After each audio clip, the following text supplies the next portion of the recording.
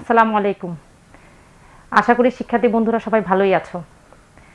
আজকে আমরা তোমাদের সামনে নিয়ে আসলাম অষ্টম শ্রেণির নবম অধ্যায়। আসলে প্রযুক্তির ব্যাপক ব্যবহারের কারণে এটা অনেক বড় একটা সুযোগ আমাদের জন্য যে অনলাইন ক্লাসগুলো করার। এই অনলাইনে ক্লাসগুলো করতে গিয়ে আজকে আমরা অষ্টম শ্রেণির একটা গুরুত্বপূর্ণ অধ্যায় যেটা বোর্ডে আসে, সেটা হচ্ছে নবম অধ্যায়, বর্তনী ও জলবিদ্যুৎ এই অধ্যায়ে আমি যখন অধ্যায়টা আলোচনা করব, তখন আমি তোমাদেরকে কি কি বোর্ডে আসে, সৃজনশীলের ক, খ, গ, ঘ, কোনটাতে কত মার্ক এবং কীভাবে আসে, সেটা আমি বলে দিব। শুরুতেই আমি যেটা বলতে যাচ্ছি, সেটা হচ্ছে যে, এই যে এখানে আছে একদম শুরুতে, বইয়ের শুরুতে একদম খেয়াল করো, যে বর্তনী কি বা জলবিদ্যুৎ কি, এর মধ্যে হচ্ছে বিদ্যুৎ কি, এটা আমাদের জানা খুব জরুরি। বিদ্যুৎ প্রবাহ বলতে বোঝাচ্ছে হলো ইলেকট্রনের প্রবাহ। ইলেকট্রনের প্রবাহ এটা হচ্ছে, দেখো, কোন তড়িৎ প্রবাহের জন্য দরকার হচ্ছে বিভব পার্থক্য। বিভব পার্থক্য মানেই হচ্ছে যে ইলেকট্রনের যে কম বেশি, সেটা কোন এক প্রান্তে ইলেকট্রন বেশি থাকবে, কোন এক প্রান্তে ইলেকট্রন কম থাকবে। যাদের মধ্যে কম আছে, তারা করবে কি? উচ্চ বিভব দিকে যাওয়ার চেষ্টা করবে। যখন তারা উচ্চ বিভব দিকে যায়, তখন তাদের মধ্যে আদান প্রদান হতে শুরু করে ইলেকট্রনগুলো। আদান প্রদান যদি চলতে থাকে এভাবে পার্থক্যটা, তারা চেষ্টা করে কি? যেন সমান সমান হয়। সমান সমান না হতে যতক্ষণ সমান সমান না হয়, ততক্ষণ পর্যন্ত তারা এই পার্থক্যটা বজায় রাখা পর্যন্ত তারা বিদ্যুৎ প্রবাহ চলতে থাকে। তো বিদ্যুৎ প্রবাহ মানেই হচ্ছে ইলেকট্রনের প্রবাহ। যেখানে নিম্ন বিভবটা উচ্চ বিভবে সমান হওয়ার চেষ্টা করবে। এরপর আমরা একটু নিচে যাই।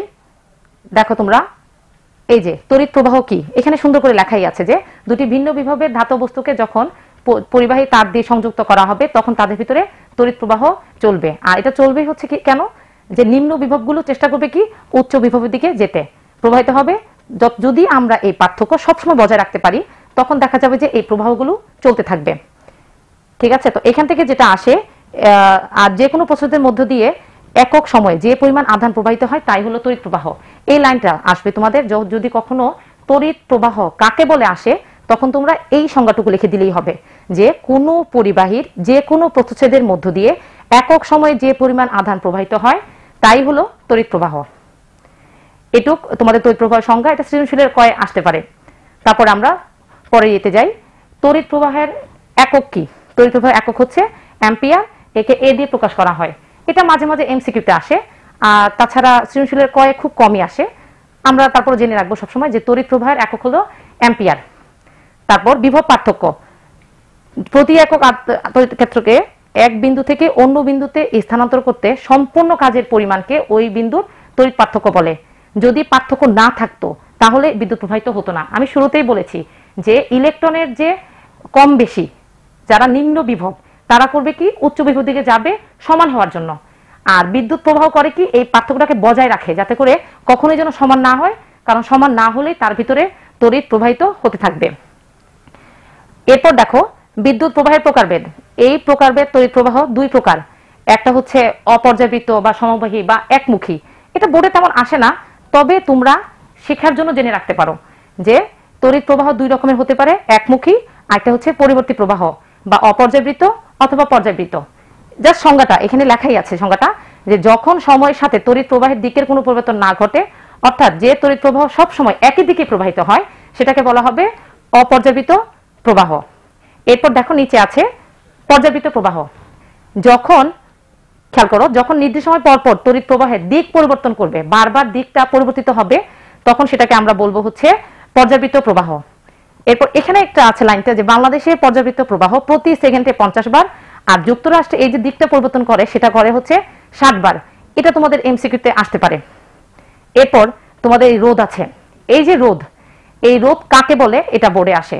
সৃজনশীলের কয়ে আসতে পারে। তো আমরা জেনে রাখি যে রোদ কি?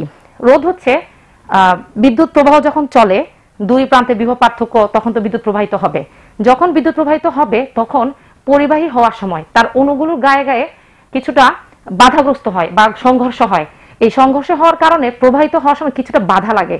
এই যে বাধাটা, বাধা মানেই হচ্ছে রোদ এখানে কথা রয়েছে, পরিবাহীর এই যে বাধা দানের যে ধর্মটা, সেটাই হলো রোদ ইলেকট্রনের স্রোত, পরিবাহীর মধ্য দিয়ে চলার সময়, পরিবাহীর অভ্যন্তরত যে অণু পরমাণুগুলো আছে সেগুলোর সাথে সংঘর্ষে লিপ্ত হয়।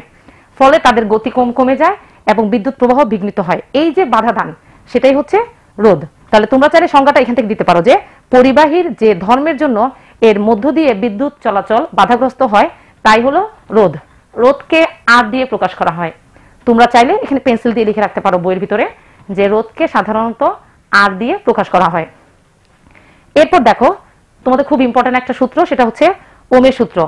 যখন কেউ নাইনে গিয়ে সায়েন্স নিবা তারা দেখবা যে এই ওমের সূত্রটা ওখানে আছে, একদম ডিটেলসে আছে এবং এখানে অনেকগুলো অঙ্ক আছে। এটা এটা ইম্পর্টেন্ট সূত্র, তোমরা মনে রাখবা যে এই যে বাধা দেয় যে ওম যে সূত্র দিয়েছে, সেটা হচ্ছে বিদ্যুৎ প্রবাহিত হবে। বিদ্যুৎ প্রবাহিতা কেমন হবে? সেটা দেখা যায় পরিবাহীর আকৃতি, উপাদান, তাপমাত্রা, এই সব কিছুর উপর নির্ভর করে। তো বিজ্ঞানী জর্জ সাইমন এটা একটা সংজ্ঞা দেন, একটা সূত্র দেন। উনি বলেন যে এই সূত্রটা হতে পারে, যাকে ওমের সূত্র বলে জর্জ সাইমন ওমের নামানুসারে এই সূত্র দেওয়া হয়, একে বলা হয় ওমের সূত্র। সূত্রটা তোমাদের সবসময় মুখস্থ রাখতে হবে, এটা সৃজনশীলের ক্ষয়ে আসতে পারে যে ওমের সূত্রটা কি, সূত্রের ব্যাখ্যা লিখো। তো সূত্রটা আমরা মুখেই বলি, দেখো, তাপমাত্রা স্থির থাকলে কোনো নির্দিষ্ট পরিবাহীর মধ্য দিয়ে প্রবাহিত তড়িৎ প্রবাহের মান পরিবাহীর দুই প্রান্তের বিভব পার্থক্যের সমানুপাতিক। এবার কোনো সূত্র চেঞ্জ করা যাবে না। এখানে যা আছে হুবহু তাই তোমাদেরকে মুখস্থ করতে হবে যে তাপমাত্রা স্থির থাকলে কোনো নির্দিষ্ট পরিবাহীর মধ্য দিয়ে প্রবাহিত তড়িৎ প্রবাহের মান ওই পরিবাহীর দুই প্রান্তের বিভব পার্থক্যের সমানুপাতিক। এখন আমাদের তড়িৎ প্রবাহ হলো, তড়িৎ প্রবাহকে আমরা আই দিয়ে প্রকাশ করি। কি দিয়ে প্রকাশ করব আমরা? আই দিয়ে। তড়িৎ প্রবাহকে আমরা আই দিয়ে প্রকাশ করি বিভব পার্থক্যকে আমরা ভি দিয়ে প্রকাশ করি। তাহলে আই মানে ভি যত বেশি হবে আই তত বেশি হবে। সমানুপাতিক। সমান সমান হারে পরিবর্তন হয়। যত বেশি বিভব পার্থক্য হবে, ঠিক সেই পরিমাণ তড়িৎ প্রবাহিত হবে। আর এই যে রোধ, এই লাইনটা শেষে দিয়েছে যদি সূত্রের একটা অংশ এটা, যে কোনো নির্দিষ্ট পরিবাহীর মধ্য দিয়ে প্রবাহিত তড়িৎ প্রবাহ পরিবাহীর নিজস্ব রোধের ব্যস্তানুপাতিক। মানে যত রোধ বাড়বে, বিদ্যুৎ প্রবাহ কমবে। মানে বাধা যদি বেশি হয়, তাহলে তড়িৎ প্রবাহিত হবে কম। দু হাজার বাইশ সালে দাখিল পরীক্ষার্থীদের জন্য বের হয়েছে আল ফাতাহ দাখিল পরীক্ষা প্রস্তুতি সিরিজ। আল ফাতাহ দাখিল পরীক্ষা প্রস্তুতি সিরিজ কিনলে রয়েছে একশোটি আকর্ষণীয় পুরস্কার। আরবি দ্বিতীয় পত্র সহ যে কোনো ছয়টি বইয়ের কুপন পাঠিয়ে দাও আমাদের কাছে। অংশগ্রহণ করলেই নিশ্চিত পুরস্কার। অফারে অংশগ্রহণের শেষ সময় একত্রিশ ডিসেম্বর দু আমরা বলেছি যে তড়িৎ প্রবাহের উপরে অনেক কিছু প্রভাব ফেলে। তো তাপমাত্রা যখন স্থির থাকবে, তখন নির্দিষ্ট পরিবাহের ভিতর দিয়ে তড়িৎ প্রবাহ যেটা হবে, সেটা হবে হচ্ছে বিভব পার্থক্যের সমানুপাতিক আর তাদের নিজস্ব রোধের ব্যস্তানুপাতিক। এই জন্য সূত্রটা এইভাবে আসছে যে তড়িৎ প্রবাহ আই সমান ভি বাই আর ব্যস্তানুপাতিক মানে হচ্ছে উল্টা। যে যে হারে রোধ বাড়বে, সেই হারে বিদ্যুৎ প্রবাহ কমবে। আর তড়িৎ প্রবাহ যেটা ভি এর সাথে যেটা সম্পর্ক, সেটা হচ্ছে যে বিভব পার্থক্য বাড়বে, তড়িৎ প্রবাহ বাড়বে। সমানুপাতিক হওয়ার কারণে ভি হচ্ছে উপরে, আর ব্যস্তানুপাতিক হওয়ার কারণে আর হচ্ছে নিচে। এখান থেকে অঙ্ক আসে, অনেক সময় আসে। যেমন কোনো একটা বর্তনী দেয়, বর্তনীর ভিতরে আয়ের মান দেওয়া থাকে তারপর ভি এর মান দেওয়া থাকে, আর বের করতে বলে। আবার কখনো ভি দেওয়া থাকে, আর দেওয়া থাকে, আয়ের মান বের করতে বলে। যদি আমাদের কখনো আয়ের মান দেওয়া আছে আর এর মান দেওয়া আছে, ভি লাগবে, তখন আমরা সূত্র কি লিখব এটা পাশে লিখে নাও, যে ভি সমান সমান আই আর। ভি সমান সমান কি লেখা যায়? I R. অথবা যদি কখনো আমাদের রোধ চায়, আর, তখন আমরা লিখতে পারি আর সমান সমান ভি বাই আই। আর যদি আই চাই তখন ভি বাই আর। মানে এই একটা সূত্রকে তিন ভাবে লেখা যায়। তোমরা পেন্সিল দিয়ে লিখে নাও। আই সমান সমান ভি বাই আর। অথবা আর সমান সমান ভি বাই আই অথবা ভি সমান সমান আই আর এভাবে করে তিন ভাবে লেখা যায়, যখন আমাদের অঙ্কগুলো আসে পরীক্ষায়, তখন যেটা চাইবে, আমরা সেই হিসেবে সূত্রটা লিখে দিব। এরপর আমাদের আছে রোধের একক, যেটা আমাদের সৃজনশীলের কয়ে আসতে পারে, আবার এমসিকিউ তো আসে, যে রোধের এসআই একক হচ্ছে ওম। এই যে বিজ্ঞানী জর্জ সাইমন ওম তার নামানুসারে কিছুটা এই রোধের একক রাখা হয়েছে, সেটা হচ্ছে রোধের একক হবে ওম। যে আমরা যখন লিখব আর আর লেখার পরে আমরা উত্তর লিখব হচ্ছে এক ওম, দুই ওম, তিন ওম। এভাবে একটা করে লিখব। আর যদি আই হয় আয়ের একক হচ্ছে অ্যাম্পিয়ার। আমরা শুরুতেই বলে আসছি, যখন আমরা আই চাইবে, তখন আমরা একক লিখব হচ্ছে অ্যাম্পিয়ারে। যখন আমাদের বিভব পার্থক্য, ভি চাইবে, তখন আমরা ভোল্ট, ভি আকারে লিখব। এরপর বোর্ডে আসতে পারে যে তোমাদের ওই পরিবাহী মানে কোনো পরিবাহীর রোধ এক ওম বলতে কি বোঝায়? এক ওম বলতে কি বোঝায়? যে যদি বিভব পার্থক্য এক ভোল্ট হয়, তড়িৎ প্রবাহিত এক অ্যাম্পিয়ার হয় তখন তার ভিতর দিয়ে যে রোধটা হয়, সে রোধের মান হচ্ছে এক ওম। দেখো কথাটা এখানে লেখা আছে যে এক ওম বলতে কি বোঝায়? কোনো পরিবাহীর দুই প্রান্তের বিভব পার্থক্য এক ভোল্ট। এর মধ্য দিয়ে তড়িৎ প্রবাহ এক অ্যাম্পিয়ার হলে তার রোধ হবে এক ওম। এটুক জায়গা তোমরা একটু ভালো করে নলেজ রাখবা। তোমাদের পরীক্ষায় আসতে পারে সৃজনশীলের কয়ে। ক্ষয়ে আসে না, এটা কয়ে আসে? এরপর যাই আমরা, তারপরে দেখো, তড়িৎ বর্তনী। এখানে দেখছি এইভাবে যে মানুষের চলার যেমন পথ থাকে ঠিক তেমনি বিদ্যুৎও একটা পথে চলে। তো বিদ্যুৎ চলার যে পথটা, এই সম্পূর্ণ পথ, এই যে তোমরা এখান থেকে সংখ্যাটা লিখতে পারো, যে তড়িৎ প্রবাহ চলার পথকেই বলা হয় তড়িৎ বর্তনী। একটা বর্তনী হওয়ার জন্য তার পথ চলতে হবে। তো চলার জন্য যে পথ, সেটাই হচ্ছে তড়িৎ বর্তনী। তার জন্য কিছু কিছু জিনিস খুব ইম্পর্টেন্ট যেমন তড়িৎ উৎসের দুই প্রান্তের এক বা একাধিক রোধ থাকতে হবে, তড়িৎ যন্ত্র উপকরণ একসাথে যুক্ত করতে হবে, চাবি থাকতে হবে। এই সব কিছু মিলে, বিশেষ করে ছবিটার দিকে তাকাও, যেমন একটা রোদ দিয়ে রাখল, অ্যাম্পিয়ার দিয়ে রাখল তড়িৎ প্রবাহ বিদ্যুৎ কোষ দিয়ে রাখল, যেটা দিয়ে ব্যাটারি, হাইপার সুইচ দিয়ে রাখল, এই সব কিছু মিলে, এই যে বিদ্যুৎটা, এখানে আমরা যখন সুইচ দিব, এখান থেকে এটা আস্তে আস্তে প্রবাহিত হয়ে আবার এই প্রান্তে চলে আসবে। এই যে চলার যে পথটা, এটাই হচ্ছে এক ধরনের বর্তনী। মোট কথা হচ্ছে চলার জন্য যে পথগুলো, সেটাই বর্তনী। সেই ক্ষেত্রে আমাদের সুইচ লাগবে, ব্যাটারি লাগবে রোদ লাগবে বর্তনী প্রবাহ মাপার জন্য অ্যাম্পিয়ার লাগবে, এই, এগুলো থাকবে।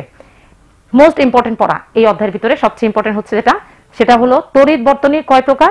বা এই যে তড়িৎ যন্ত্রগুলো আমরা যে সংযুক্ত করব, সেগুলো দুই উপায়ে হতে পারে। একটি শ্রেণি সংযোগ বর- বর্তনী, আরেকটা হচ্ছে সমান্তরাল সংযোগ বর্তনী। শ্রেণি সংযোগ, একটু ছবির দিকে তাকাও।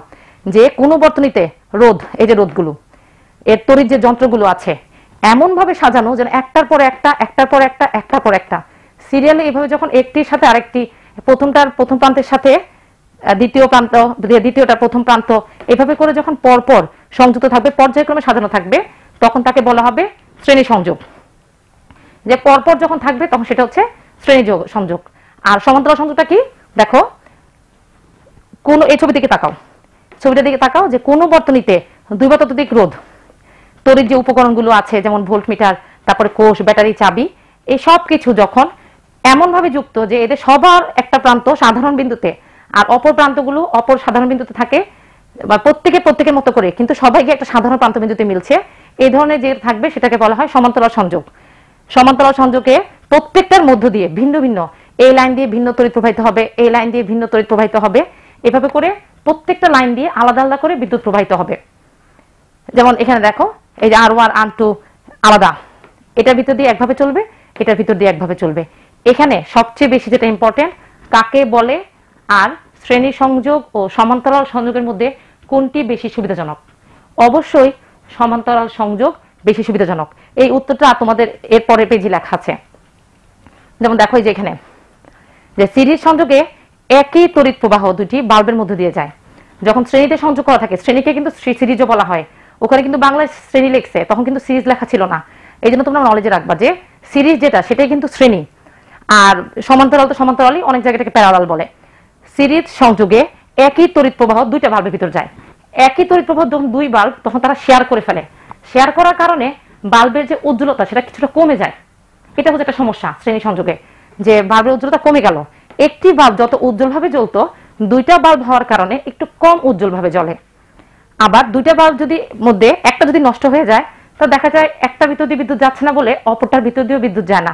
তার মানে একটা বাল্ব ভালো হওয়ার পরেও আরেকটা বাল্ব নষ্ট হয়ে যাওয়ার কারণে এর ভিতর দিয়ে তড়িৎ প্রবাহিত হচ্ছে না।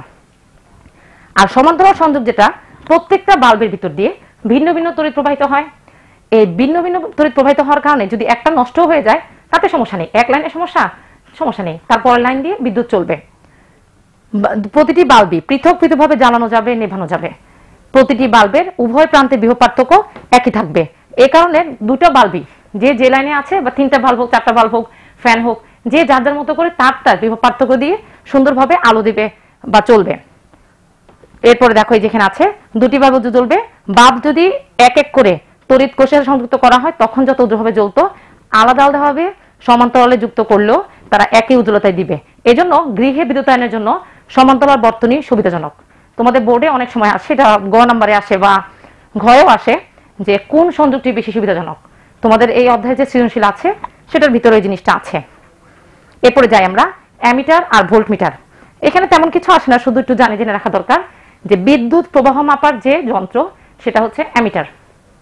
বিদ্যুৎ প্রবাহ আমরা যে যন্ত্র দিয়ে মাপবো, সেটার নাম হচ্ছে অ্যামিটার। আর বিভব পার্থক্য আমরা যে যন্ত্র দিয়ে মাপবো, সেটা হচ্ছে ভোল্টমিটার।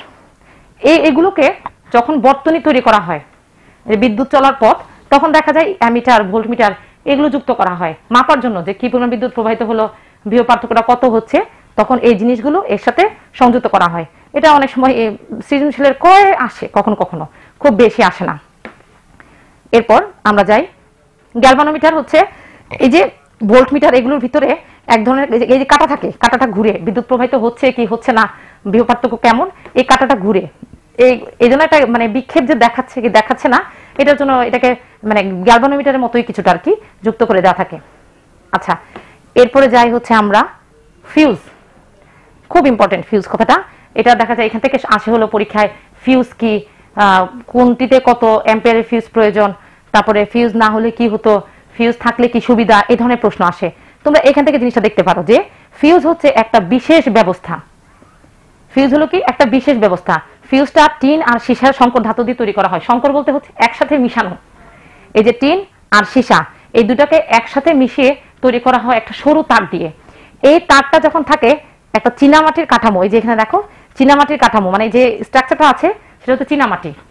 এটার ভিতরে এই কাঠামোগুলো দিয়ে আটকানো থাকবে। তারটা সরু, আর এর গলনাঙ্ক অনেক কম। গলনাঙ্ক হচ্ছে কি? যে কিনা নির্দিষ্ট তাপ পেলে গলে যায়। যে তাপমাত্রায় কোনো কিছু গলে যায়, সেটা হচ্ছে গলনাঙ্ক। তো এর গলনাঙ্কটা কম। যখন এই ধরনের ফিউজ লাগানো হয় কোনো পরিবাহীর ভিতর দিয়ে, তখন যখন পরিবাহীর ভিতরে যখন বিদ্যুৎ প্রবাহিত হয়, যদি পরিমাণের চেয়ে অতিরিক্ত তড়িৎ প্রবাহিত হয় তখন ফিউজটা গরম হয়ে যায়, উত্তপ্ত হয়ে যায়। তাপ পেলে যখন গলে যায়, সে উত্তপ্ত হয়। উত্তপ্ত হওয়ার কারণে গলে যায়। গলে গেলে তখন সেটা হয় কি, বর্তনীটা বিচ্ছিন্ন হয়ে যায়। ফলে বিচ্ছিন্ন হয়ে যাওয়ার কারণে বাকি যে বিদ্যুৎটা অতিরিক্ত হয়ে যন্ত্রটাকে যে ক্ষতি করতো, সেই ক্ষতিটা আর করতে দেয় না। যন্ত্রপাতিকে রক্ষা করে বর্তনীতে এই জন্য ফিউজ সিরিজ যে সংযুক্ত করা হয় যেটা লাগানো হয়, সেটা করে কি ফিউজকে সিরিজ সংযোগে দেওয়া হয়। এইখানে যতটুকু আছে, এর মধ্যে আছে যে কোন মানের কি ফিউজ কোন যন্ত্রে লাগতে পারে এরকমের কিছুটা দেওয়া আছে। ফিউজটা ব্যবহার করি, তার মধ্যে দশ দশ অ্যাম্পিয়ার ফিউজ মানে কি? পরীক্ষা আসে এটা ক্ষয়ে যে দশ অ্যাম্পিয়ার ফিউজ বলতে কি বুঝি? তখন আমরা এটা লিখলেই হবে যে দশ অ্যাম্পিয়ার ফিউজ মানে তোমরা এটাকে মার্ক করে রাখো। মানে এর মধ্য দিয়ে দশ অ্যাম্পিয়ারের বেশি বিদ্যুৎ যদি প্রবাহিত হয়, তাহলে এটি গলে যায়। বিভিন্ন যন্ত্রপাতির জন্য বিভিন্ন মানের ফিউজ ব্যবহার করা হয়। বাতি, পাখা, টিভি ফ্যান এক একটাতে এক এক ধরনের লাগে। এই যে বাড়ির মেইন সুইচে তিরিশ বা ষাট লাগে। ইলেকট্রিক ক্যাটলি বা এসটির জন্য পনেরো এম্পিয়ার ফিউজ লাগে। বাতি, পাখা টিভি এদের জন্য পাঁচ এম্পিয়ার লাগে। এক একটার এক এক মান। যার যে মান, তাকে সেই মানের ফিউজ দিতে হবে। বেশি দিলে কাজে লাগবে না। আর কম দিলে দেখা যাবে যে খুব দ্রুত নষ্ট হবে মানে বারবার গলে যাবে আর এটা তেমন কাজ করবে না। এই কথাটা এখানে লেখা আছে একটু নিচে। যে আমরা যদি বেশি মানের ফিউজ দিই, বেশি মানের ফিউজ দিতে পারি যে যেখানে যেমন মানের ফিউজ দরকার, সেখানে সেটাই ব্যবহার করতে হবে। প্রয়োজনের তুলনায়। বেশি মানের ফিউজ দিলে কোনো কাজে লাগবে না। তখন বৈদ্যুতিক দুর্ঘটনা এড়ানো যাবে না। আবার কম মানের ফিউজ দিলে বারবার ফিউজ পুড়ে যাবে আর অসুবিধার সৃষ্টি হবে। এরপর যদি কখনো ফিউজ গলে যায় বারবার, তখন মানে এখান থেকে এক রকমের, ওখান থেকে এক রকমের, দুই রকমের ফিউজ একসাথে যুক্ত করে, করলে সেটা দেখা যায় বেশি মানের হয়ে যায়। এরকমের কাজ করা ঠিক না। যেখানে যে মানের ফিউজ দরকার, সেখানে সেই মানের ফিউজ দিতে হবে। এরপর আছে আমাদের বিদ্যুতের কার্যকর ব্যবহার ও অপচয় রোধে সচেতনতা খেয়াল করো, বিদ্যুৎ, এটা তো হচ্ছে আমাদের দেশে যেটা হয়, জলবিদ্যুৎ বেশি হয়, আর পারমাণবিক চুল্লি দিয়ে করার চেষ্টা চলছে, কিন্তু আমাদের যে চাহিদা, তার তুলনায় কিন্তু বিদ্যুতের পরিমাণটা কম। কিন্তু আমরা যদি খুব সাশ্রয় করে বা হিসাব করে যদি খরচ করি, তাহলে দেখা যাবে যে এমন অনেক জায়গায় বিদ্যুৎ এখনও যায়নি। তারা এটাকে ব্যবহার করতে পারে। আর বিদ্যুৎ হলো ফুরিয়ে যায়।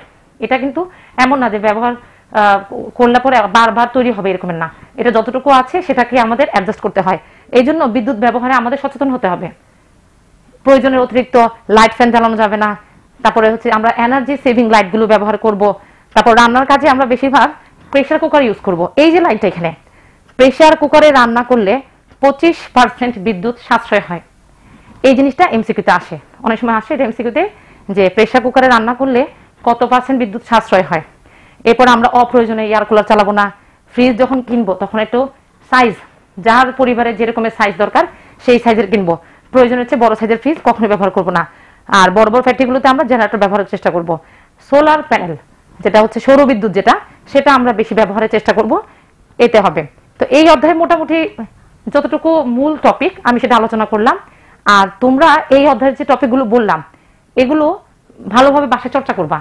আর আরেকটা কথা হচ্ছে যে তোমাদের বোর্ডে কখনোই এই বইয়ের যে মানে বোর্ড কোয়েশনগুলো আছে, যেমন দুইটা কোয়েশন আছে এই অধ্যায়ে, এগুলো বোর্ডে আসলে আসে না। তো তোমরা করবা কি প্র্যাকটিস করার জন্য তোমরা হচ্ছে বোর্ডের যে কোয়েশনগুলো যেমন দুই হাজার আঠারো সাল, সতেরো সাল, ষোলো সাল, এই তিন সালে যে কোশ্চেনগুলো আছে যেমন দেখো, এখানে একটা কোশ্চেন আছে, এখানে একটা কোশ্চেন আছে।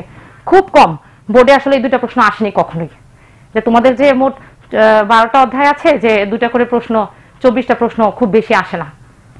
হ্যাঁ তোমরা হচ্ছে এই জন্য দুই হাজার আঠারো সাল, সতেরো সাল, ষোলো সাল, এই ধরনের মানে বিগত বছরের প্রশ্নগুলো তোমরা বেশি বেশি প্র্যাকটিস করবা।